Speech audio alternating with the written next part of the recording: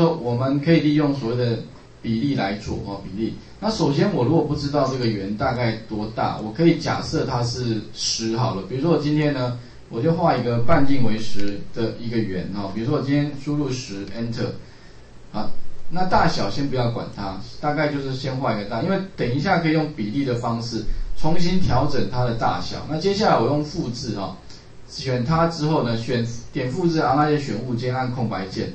然后呢，直接往从四分点换到上一个四分点，就画出另外一个圆。那这边的话，我可以用什么呢？切切，因为我知道半径嘛啊，切这个，然后切这个，你看切两边，然后输入十，半径的话就是十，Enter。那另外另外两个，我可以选这两个，然后用什么呢？用近色啊，然后直接选这个圆的中心点往下哈，抓垂直的，然后按空白键就可以。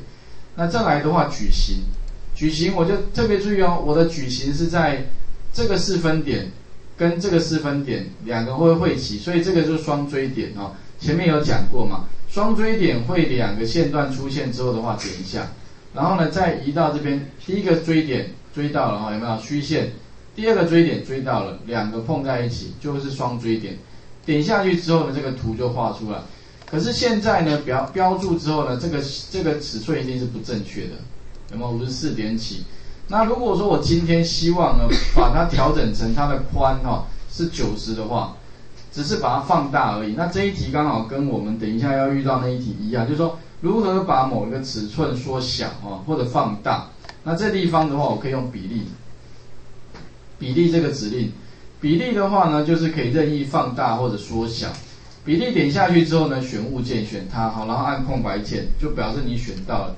选到之后呢，接下来呢，它会问基准点。那我们假设基准点是在这个好了哈，左下角这一点好了，任意点都可以。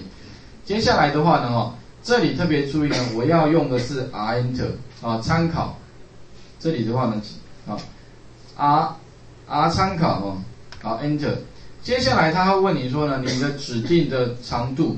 指定长度就是说你原来的长度，比如说我今天想要改变的是从这边到这边，哦，那这边到这边的话，然哦，我要先点第一点，再点第二，第三个给它新的长度是多少？九十，所以我就输入九十，也就是说先给它旧的长度，再给它新的长度，按 Enter，那你会发现呢，这时候呢，哦，这个尺寸就被我更改了。好，就变九十哈。这个重点再提示一下好了。